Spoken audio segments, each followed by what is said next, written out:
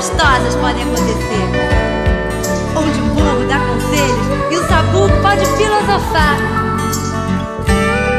Um menino caça estrelas com bodós e uma boneca arranja encrencas de dar choque. Muitas coisas que só faz quem não sabe onde tem.